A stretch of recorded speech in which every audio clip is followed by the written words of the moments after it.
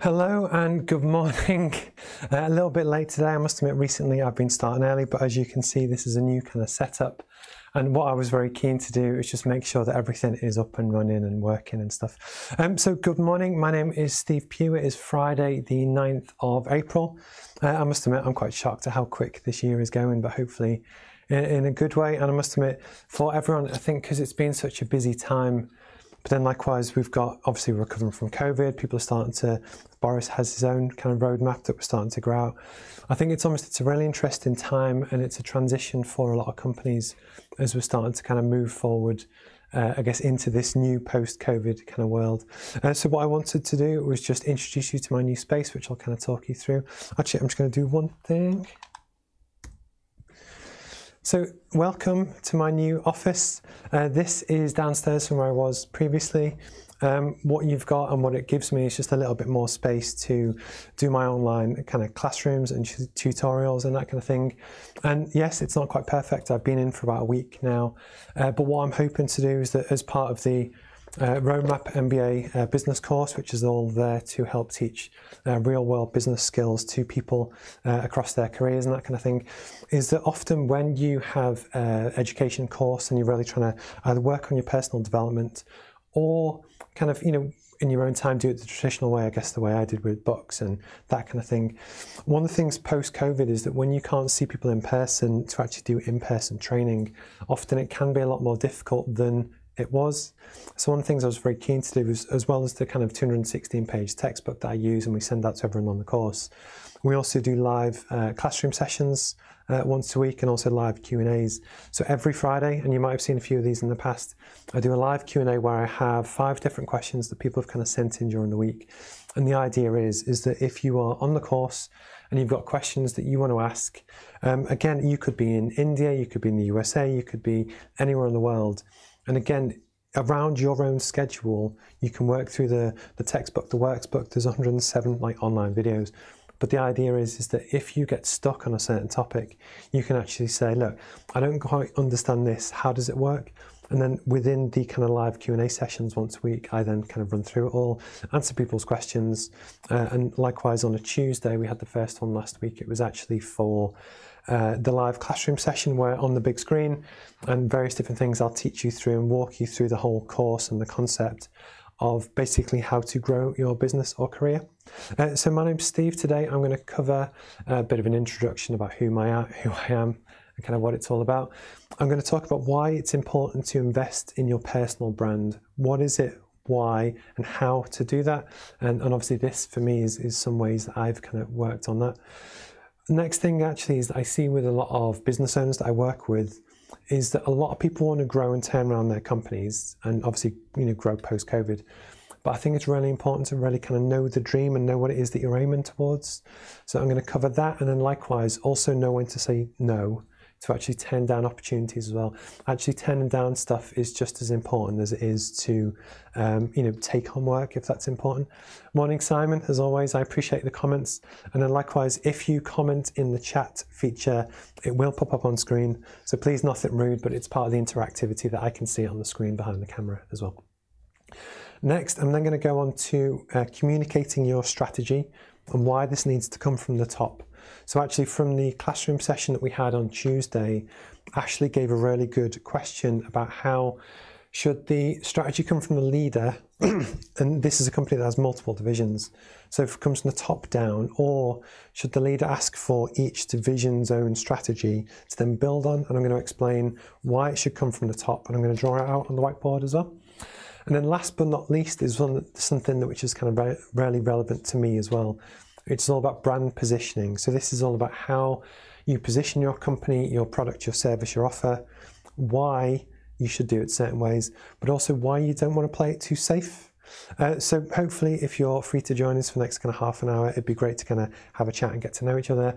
Uh, feel free to comment in the uh, comments if you ask want to know about the setup or anything. Please just kind of ask. And yes, yeah, so I'm going to go through these kind of questions. One of the things that I did discover actually is in my new office, I've got a window here, and as of 8:39, it was just beaming light through the window, which is great in some ways, but it ruined my exposure. So I, that's why I was a bit late, kind of coming on. Okay. So I'm going to start with the first one, which is actually about investing in yourself and your personal brand and why that's important. So, for a lot of people, I think nowadays, especially with digital online stuff, when you get to you know spend less time in person, but even when you do, it's really important that if you have uh, career goals or ambitions, and it could be as an entrepreneur to actually kind of launch your business and do what you want to do, or actually just in your own career, if you know obviously you work in someone else's business and you know you're looking to kind of work your way up, it's really important to invest in your personal brand. So what I'm going to talk about is four main key things and also different ways to execute. And the idea is is just to kind of put it on people's radar for things to consider. And again, that's what this is all about, is that everything we cover within the course or things that we talk about, and there's 216 pages of really good content that you know you can kind of look at, is that some of it will be relevant to you, some of it won't be, but it's just to spark those ideas to help you make that next step. So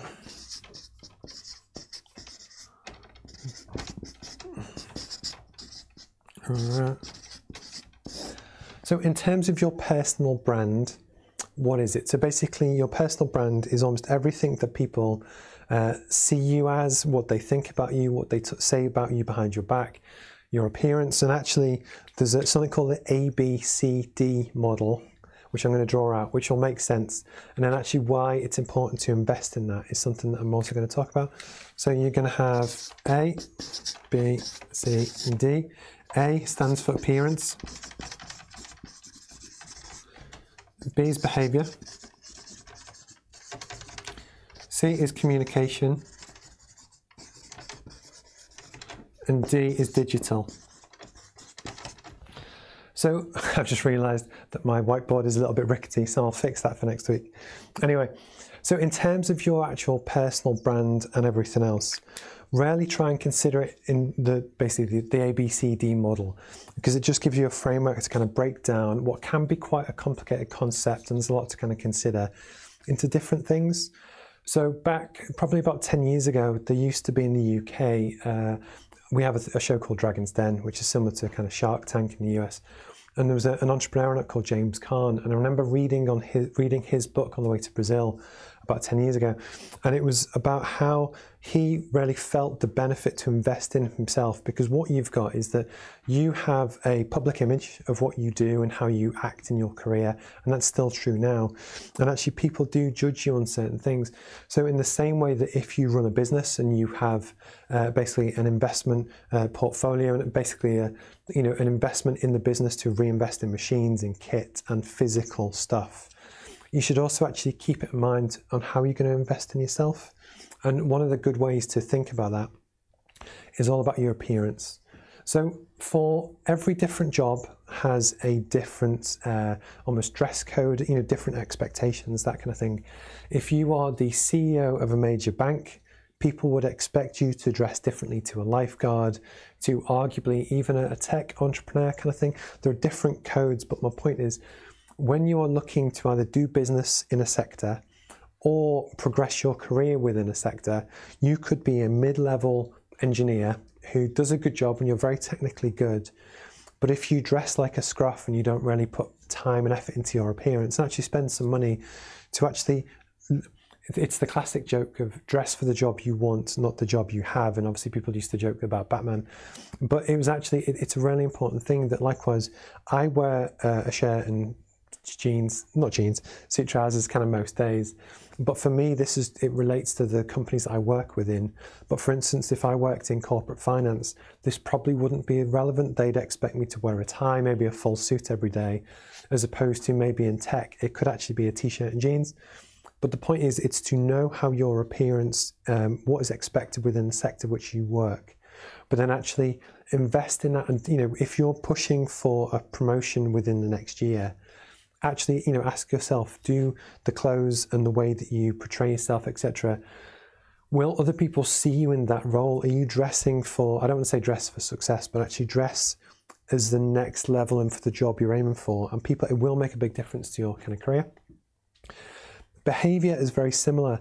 That if you are pushing for a senior management position in a company, if you act the joker and you're a bit of a fool and you like being the kind of class clown and I was there kind of at school, that's fine, but people won't see you as the next CEO. They, you know, you have to almost be have a conscious awareness of how your behavior acts and impacts your personal brand and what people think about you.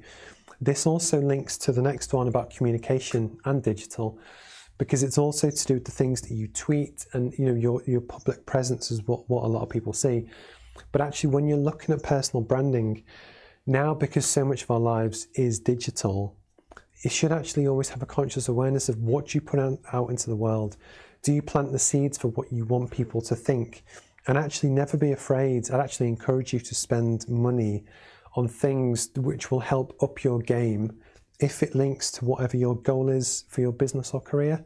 So, for me, myself, I could have kept doing the live streams in my spare bedroom, but then I moved to an office with a slightly better setup. Then, as of today, I've moved to this office, which is a better offer, you know, better um, setup still. But the point is, it's because you know within a year I've gone from a back bedroom to here. But then likewise, but because for me this is a ten-year goal, I'm going to keep investing, keep um, you know, kind of learning and that kind of thing. And basically, I think you should too. And yeah, if you're ever trying to think about your personal brand, the big one is actually just to consider what do you want other people to think about you?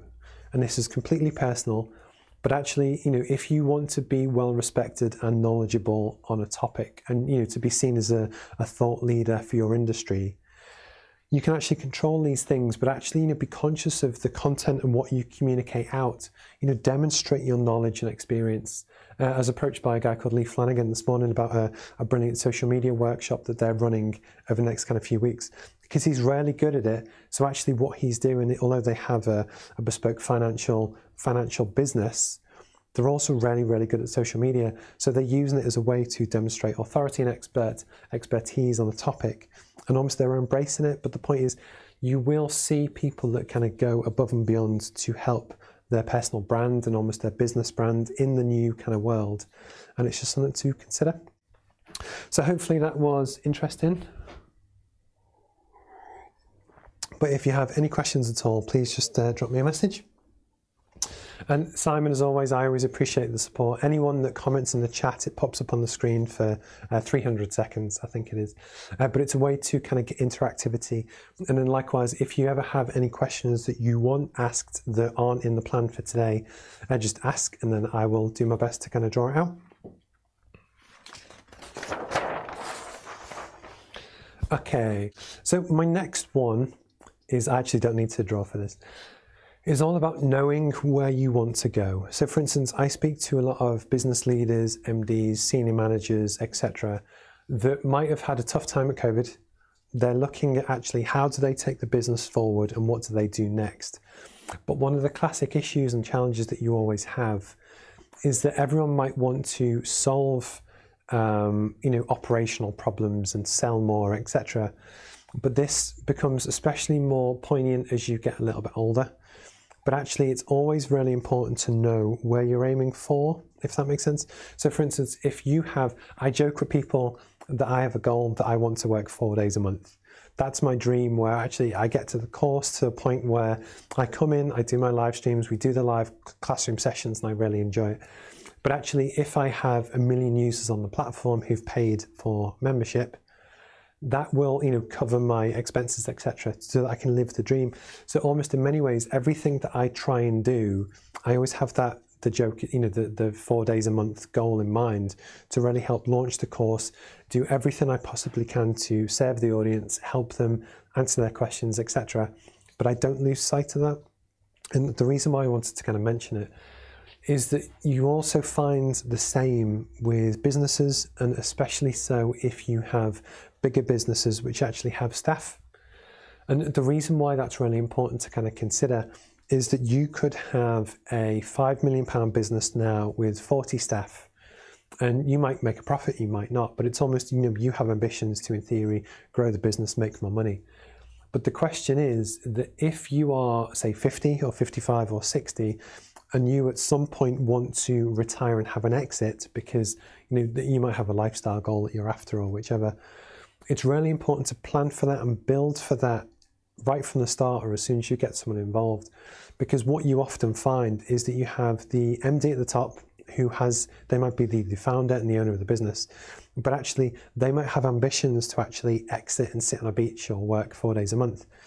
And what often happens is that they're so entrenched in the business and working working away that we can actually go in, help build the business, increase sales. But what you're essentially doing is actually making the machine bigger.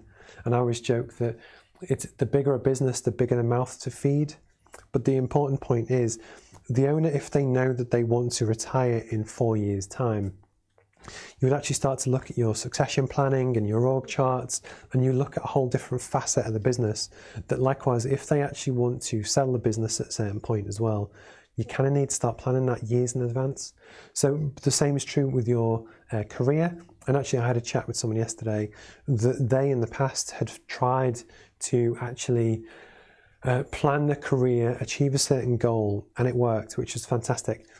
They actually achieved that, and the, the point is when you actually strategically know what your next step is, so you might want to become marketing director for an international company, say. If you actually plan that out, and we can cover this all kind of in the roadmap, we can then actually start to consider, you know, what knowledge do you need? How should you dress? What do you, what, where do you need to network to get to know these people? But actually, you're planning your activity, your lead actions to achieve the goal, is where actually to just blindly go ahead in your career and just keep doing the same stuff with the, the blind hope of achieving the goal, it's you're kind of shooting in the dark. So it was just something that came up this week that I wanted to kind of share that I thought was worth uh, mentioning. Hi, Simon.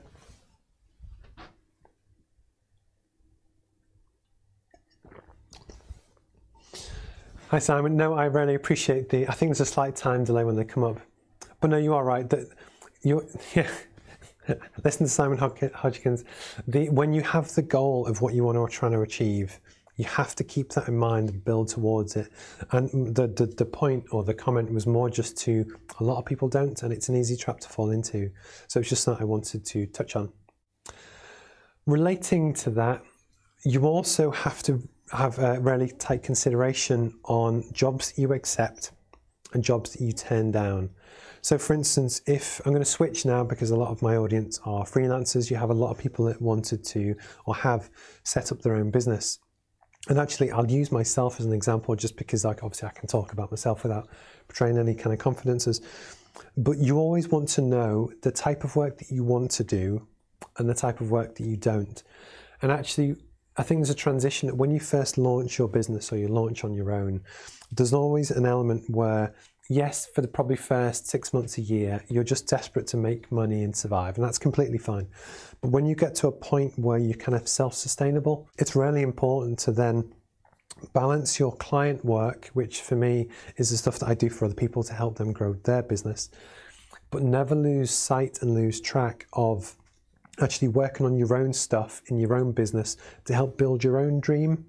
And the reason why this is important is that you can both yes, you need to have a profitable business that pays your bills and your wages, etc. But if you solely chase the money and chase contracts to do work for other people, the issue is you just you're running on a faster and faster treadmill that yes you're earning money but you're not actually building anything for the long term so one of the things i'm always very conscious to do is that yes i spend probably 60% of my time doing work for other people because to be honest it helps fund all of this but actually yeah, it, you know, I, I, make special effort that once a week on a Friday morning, uh, I, I, come down and I still get nervous doing this, but I set it up. But this is one of my lead actions that I know that if I want to grow my business, raise awareness of the course and how it can benefit people, and hopefully just add some value back. This is something that I know I should do and have to do. So I try and make time for it. And because of that, although someone might even come to you with a lucrative contract that they want you to work with them and pay you X, if it actually stopped my ability to do this and do my own thing and build for the long term, you know, I was joking about it's my 10 year kind of plan, that would be a bad decision. That often when you work for yourself and you have no one else to kind of talk to, it's sometimes it's you know it's good to get advice. Um, so it was just something that had come up that I thought was really interesting. That likewise the same is true in industry. That if you have a manufacturing business and you make uh, component parts or, or whichever, you have good profitable business that you actually get good margin on so that when you put the time and effort into make the stuff whatever the stuff is you obviously get paid in return. But you'll also be approached about certain jobs where actually the margin might be rubbish and what you can then do is find yourself being what i class as bad busy. So it's when you're busy but it's not really giving you anything back. It's not helping you build the dream that's a really bad place to be especially if you get caught into like a long-term contract because then what happens is that you're working all the hours God sends and you're not really getting anything in return. So the point is for anyone kind of on the course is that if anything ever comes up which um, is good, but actually it means it takes you away from your North Star, your kind of main key goal, don't do it. Okay, so the next one I'm going to talk about actually came in from the uh, the classroom session. So within this room on Tuesday and Tuesdays uh, 3 till 4, we have the roadmap uh, classroom sessions where we go through the course and actually step by step. Last week's and also this upcoming week was all about course introduction and module one, setting your aims and goals, what you want to do and how. And it was one of the things that I was asked to do was actually to do live Zoom sessions where the same kind of setup, but it's via Zoom. Um, I run through the course, but people ask questions and they say, look, I, I don't quite understand this, how does this work, etc. And one of the things which came in from Ashley, which was really, really good, because when you write something like this, you know, it, it takes a long time and there's so much content that often you can kind of get trapped in your own head where you think you've explained it properly, but actually you haven't. Um, and anyway, and this was all to communicating your strategy.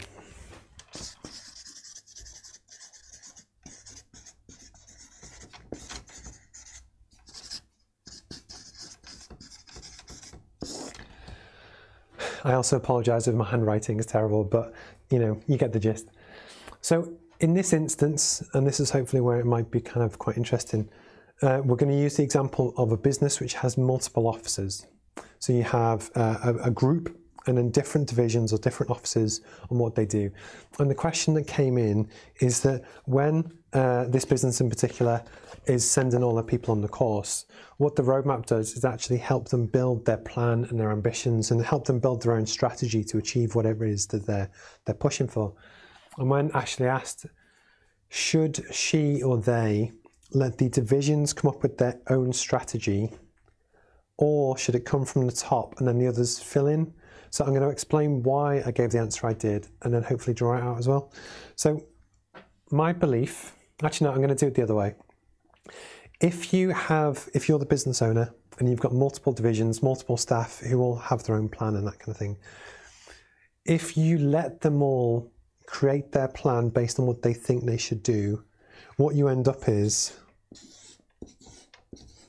lots of separate mounds that could overlap. You might have a few, but the issue is your one, two, three, four, five, six different divisions might come up with a great strategy which is great for them, which helps their growth, but it doesn't necessarily fit within an overall vision. What you really want to do is that you need to plant the seed from the top, and the way I'm going to draw this out, it's like a mountain, flag at the top. So the MD, the big uh, one of my competitors calls it the big, hairy, audacious goal. But actually, when you have your big North Star goal that you're looking to achieve, this is essentially where the owner or the MD of the business uh, should basically say, look, this is the goal, this is what we're trying to achieve. So that is the mountain. And then when they actually go through to their team to ask their team to contribute different parts of the plan, what you can then do is that as people contribute, they can support each other. They actually know where they're going to so that, for instance, your sales team, when they're looking to build their plan to actually increase sales, if they know where they're aiming to, that can build on the plan of the finance team to provide a more stable base to help build from. It can, you know, build on the marketing team's plan to help raise awareness. And actually, the reason why it should come from the top is that you need to set that north star that everyone else builds towards in the example of a very badly built kind of mountain um, as opposed to if you let everyone go off and do their own thing, what you could have is just a very flat bit of a mess that is well intentioned. But it was just, yeah. So when uh, Ashley kind of brought in the question last week, I thought it was really interesting. And again, I just, it's so important. There's a, a topic that we talk about in the course called commander's intent, and this actually comes from the military, where in the military you have the uh, senior management exec level uh, approach where they might say, look, we need to take this region in Afghanistan. So they actually set the commander's intent. They tell the team, look, this is what we want to achieve. But they actually let the teams underneath them decide how to implement and how to achieve that goal. So the reason why we, you know, you kind of equate that to sales and stuff in business is that the the MD could set the goal to say, look, we want to open five offices and get sales to 10 million pounds a year. So that is the goal for the, you know, for the business as a whole. But actually for the sales team, based on the people within the business, I would then within their own plan. So they've been, they would work out their lead actions, which I've covered in previous kind of, uh, you know, ones of these, where people can basically learn how to do uh, how to build a sales pipeline, how to manage it properly. But at least they're building towards the goal set by the, the MD, but they get to choose how they execute it. So this is where some people are very good on the phone. Some people just some people hate the phone, they like the email, some people like to meet in person. But the idea is you actually let your team execute their area of the plan how they see best fit, if that makes sense.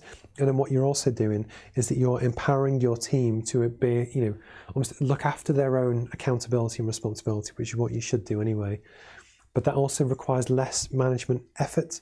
So one of the big things that I'm always very kind of hot on is running lean and efficient teams and actually just giving people trust and accountability to kind of do their best within their remit. Um, so I know I've kind of waffled on a little bit there, but hopefully it was quite useful so essentially, yeah, when you set your strategy, set it from the top down and then build upwards on how to achieve that, if that makes sense. But if I have explained it terribly, please just kind of let me know. Okay, next is one which is very uh, relevant.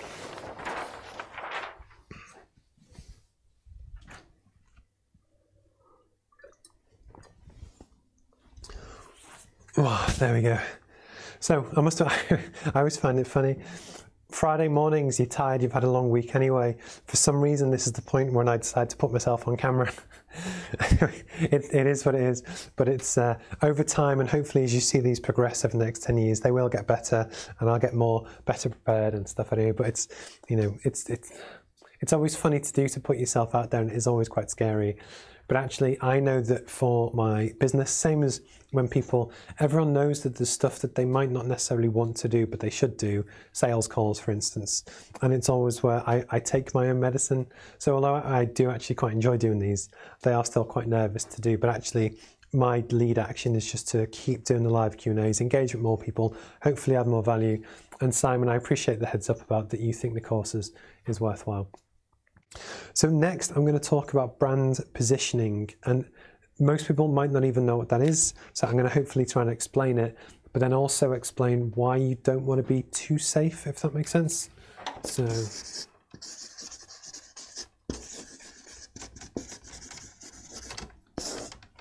I've just realized how bad my writing is. So, brand positioning is how you position your product or service or company in the market versus its competitors. So the example I like to use, because a lot of my customers are in the UK, so I use UK supermarkets, is that you have different companies at different levels. I'm going to quickly draw this out. So we're going to have uh, price and, oh, yeah, quality. So when you look at brand positioning for a business, one thing that's really important to do, it's how you compare yourself to others and almost then once you figure out what your niche is, how you choose to fit.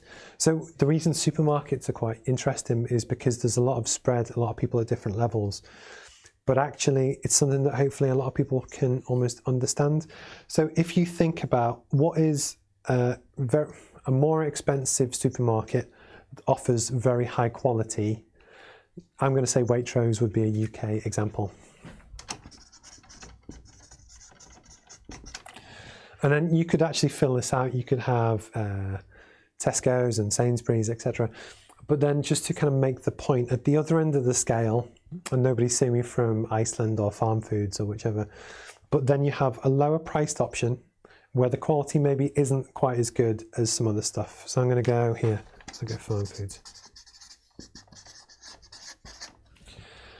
if you were brought in to be marketing director of farm foods, you should really look at actually when you're looking to promote yourself and who your target market is, it's probably not the same people as Waitrose.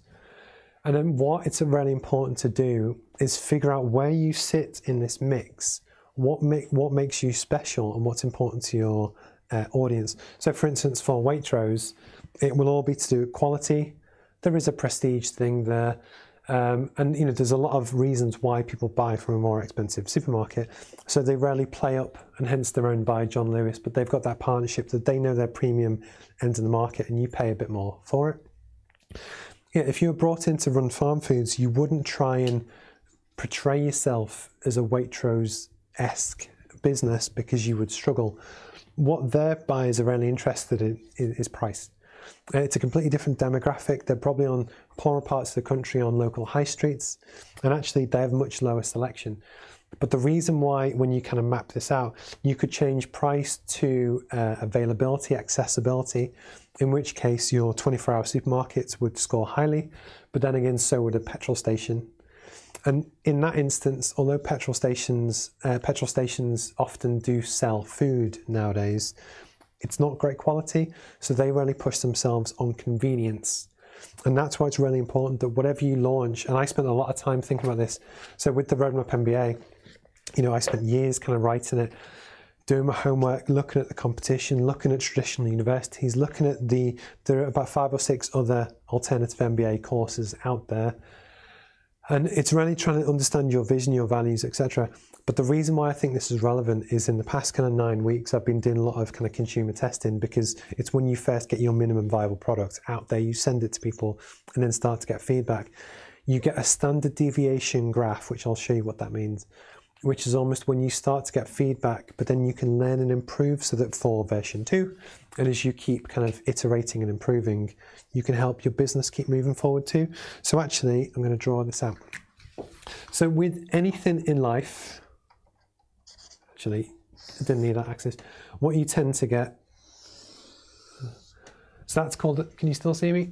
Only just, um, so I'm trying to get used to the new studio. So this is a standard deviation curve. And if you look at um, UK heights in the population, you get some people that are very small, some people are very tall, and most people are in the middle. For business, this is exactly the same. You will have uh, people that love your product, and you'll have people that hate your product. And the trick is, it's about 3% at either end.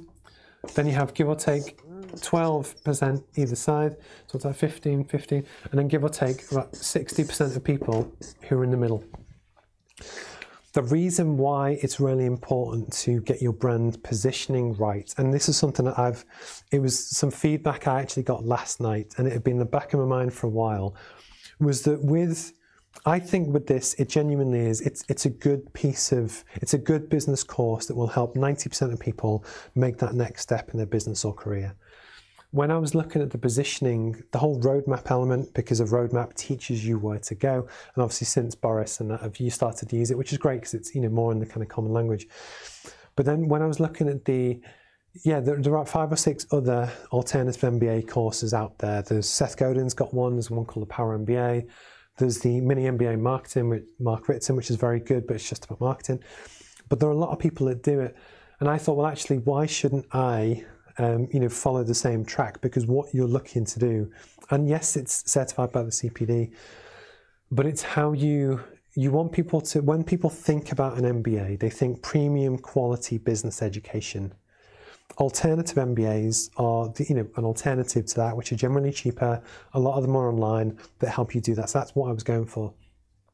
But the one thing that kind of stuck in the back of my mind, and I knew it as well, was that with some people who, for me, were falling about here. Most people got the course and they loved it and like content's great, I like the idea, etc.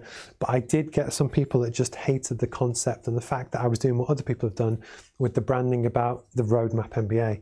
And I thought fair point because for me and everything that I try and do is try I try to do high quality, I try and do the best I can, hence why all of the effort with this. But actually what I didn't want to do is have anything within my brand which almost still triggered people that aren't going to like it anyway. So from this morning, I've updated all my stuff that this is an alternative MBA course. It, the idea is that if you've got 20 grand in two years to spend on a proper one, do it. They're fantastic. But if you don't, if you've got a real business to run, or you're in your career and you've got a family life, and you're looking to just make that next step forward, the alternative courses are very, very good. Obviously, I've got one. But the point is, I'm now going to embrace that a lot more. That yes, I'm also going through like a, an update to my brand and stuff as well. But you will see me call it more and be more open that it's an alternative MBA product and it's the Roadmap Alt MBA. I probably will just call it the Roadmap in general kind of conversation just because it's easier. But actually, what was interesting was just for my own brand positioning, when you were getting customer feedback, I always had that niggle at the back of my mind. And after the feedback from Chris yesterday, and I'd had it before, I thought it's a fair point. So I've now embraced that. And this is again part of my next kind of learn and iterate. But again, for your business too, you're always going to have people that love you and you're going to have people that hate you. The trick is to really understand if you are a recruitment company and recruitment is uh, notoriously competitive and very kind of difficult, you kind of need to my opinion, you need to embrace who you are, what you do, what you're good at, and what makes you unique. And the thing is, even if that res- some people don't like that approach, it's really important because the worst thing you ever want to do is that you basically have a sliding scale between uh, safe but dull, and then risk when you're looking about how you sell and promote yourself, if you all you ever do is super safe, chances are you're not promoting yourself as well as you could. Because what you're doing there is that you're making sure that you don't offend anyone, which is fine and it's honorable. But the trick is, you could also become forgettable. What a lot of people do and should do is look at how far you can push it towards here that where you resonate with your core audience to get a core offer which some people resonate with and you're memorable and you stand out and because you know everything is such a crowded marketplace. And what i was doing was testing the boundaries on this. And i think i'll be honest i think i pushed it maybe a bit too far and i've dropped back a bit. So it's almost my, my point is and the reason why i like to do this on the course it's almost just I'm a real person too, and this is a real business, and I'm doing this live, as you can kind of see. But actually, these are lessons that you could also learn. That if you're a copywriter or you do what, whatever you know your business is, never play it too safe with your positioning and also how you kind of promote yourself to the market. Because if you play too safe, nobody will know who you are and nobody will care. You can go too risky which is fine if you've got a very niche product which is, is built on that. But for most people, you want to keep your core audience and get them involved without pushing it too far. And this was something that I learned. Uh, well, I've been testing consciously for the past few weeks. It was last night I decided to make the change. And then as you kind of move forward, you'll see me gradually learn and iterate. Uh, I'm just going to read. Hi, Stuart. So I'm just going to read. It's funny. I really appreciate the comments that pop on the screen. But whilst presenting, it's quite difficult to read as well. But uh, Richard Stewart, thank you for the comments. They're all kind of really valid. And it's that kind of thing that I, I will get time to read them properly after I finish and I'll comment and stuff. Um, but I you know I appreciate people's feedback. And uh, I'm just going to have a quick read. Uh, Richard, top person accountable for direction. Yeah, Spot on. So if you can't see Richard's comment, he's completely saying that the top person should set the direction but can't be accountable for everything within the business. And again, Stuart with the North Star concept is, you know, it's one of those really important things to consider. One of the things which actually came up also yesterday, but it, it's also a key theme, is that so I'm a chartered mechanical engineer by trade. You can see my certificates in the background. But actually, I do this because I enjoy it. I'm passionate about it. I love tech. I love making stuff, and I love problem solving and the challenge. But arguably, I started my career side by side with people that design jet engines and do uh, thermodynamics and really techie niche stuff. Likewise, when I was doing my PhD, a lot of the team you get very techie. And some of the feedback I also had about the course was it's not relevant to them because they don't sell, they don't do whatever. And it was just on that point, I actually think it's really important for anyone in any business to have an entrepreneurial team where actually it's so much about the mindset. So, for instance, even if you are a technical engineer that does heat exchangers for jet engines, so a very kind of niche topic, when you're actually going through your job and actually, you know, doing what you're doing, there's always a reliance on a better business will have team that identify opportunities, have the confidence to explore them. Selling also includes how you communicate an idea. There's a lot of stuff that covers um, management and bringing on a team. And my point is, although yes, it is a business related course, and admittedly, I also wrote it with entrepreneurs in mind because that's kind of my, my background and skill set. I actually do think that for most people at almost any point in their career, just having a conscious awareness on how to sell, what is a sales pipeline, how to position your brand and your company, etc. That even if you're a HR director or a HR admin person, just having the conscious awareness of things to consider will add more value to a business that actually, you know, I also give out free copies as well. My point is, I think actually business education is, is really useful to anyone. And it was just when I had some feedback that kind of disagreed with that, you know, fair enough. But it was just I thought I would argue the case. So what time are we on? We are on 9:42. Uh, I, you know, I really of appreciate the the comments and stuff. Um, although this might be meaningless to you, on Tuesday next week I have some new lights coming to hopefully help me kind of finish the setup and take it to that next kind of level. Still, uh, I'm still toying with a few different things. I think the whiteboard I need a stronger one, which is good. But it, you know, this is all part of my journey that I'm trying to just get better. Um, even trying to find the right speed on the camera slider that you know was here just to make the online kind of sessions a bit more interactive interactive and a bit different, but again, quite difficult to solve. Um, my name is Steve. If you've got any questions at all, you can always drop me a message. We have an email address at questions at roadmapmba.com. You can send in questions about anything 24 hours a day. I pick them up and I'll try and answer them in future kind of sessions. And likewise, a lot of people like to just pick my brains and they just send me a message on LinkedIn, which is cool as well. Um, the offer is still there to have guests on this session. Uh, it's funny that when I ask people who are kind of on the course, and rightly so, and I've been there, everyone's too busy. And it's that classic thing of, um, you know, I'm trying to do my best to build the course and get people on and almost get that extra interactivity there. Um, if you are on the course or, you know, that kind of thing, reach out and I'll happily get you on to talk about your, you know, situation and what you're doing and almost talk through your journey. And we do that live to both, yes, help you kind of promote the business, but also it helps us talk through key concepts which are relevant to other people. Because I think that's one of the other things that I was very keen to kind of create with the roadmap was a way that you know everyone's on their own journey, and especially if you're a freelancer or solopreneur or whichever, it can be quite a lonely place. Uh, to be often you are stood on your own in a room doing your, your stuff.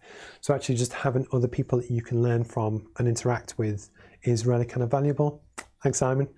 Uh, and then last but not least, uh, should you wish, uh, at least for the first kind of round through, if you would like to join our classroom Zoom sessions on Tuesdays.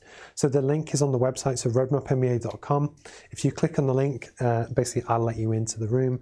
And we walk through the, the modules. On Tuesday, we're going to be covering uh, basically the course overall. And then likewise, we go through module one, which is all about setting your aims, goals, ambitions, and then understanding some key topics like the something called lead actions that we talk about. Um, and basically to set the scene. And then what I do is that I repeat each module twice because people always have clashes and stuff that they can't do. So the week after we start on module two, and we do that for two weeks, then module three, etc. And that runs until October. And again, these are completely optional. It's for people that might want, um, you know, some extra handholding to walk through the course. But then likewise, if you're like me, you'll probably just rush through it anyway, or just jump to the bits which are kind of relevant to you. Cool. So I appreciate everyone's time. I genuinely do. I joke with my wife that when I started to do these, I had no comments. Then Simon comments every week, and then it's just it gradually builds. And hopefully, you know, because I, I record all of these and they go onto YouTube. In a year's time, I might have 20 comments, in another year I might have 30. And for me, it's just trying to build the dream over time and just kind of see what happens. But I genuinely do, um, you know, appreciate people's time and support and stuff as well. Hopefully this is of interest. If you want to check it out, uh, the Roadmap uh, business course is available on roadmapmba.com. If you've got any questions, you know, please kind of get in touch. And then likewise, if you either know someone or you would like to do the course, but you're just not in a position to purchase it at the moment, we have a, guest list as well. So that's guest list at roadmapmba.com. And we've had the first few people on that as well. And the whole point of everything I'm trying to do is trying to make business education accessible. So cool. Well, my name's Steve. It is 946. I genuinely appreciate everyone's time. If you've got any questions, get in touch. And yeah, hopefully I will speak to you soon. Have a good Friday. Cheers. Bye bye bye.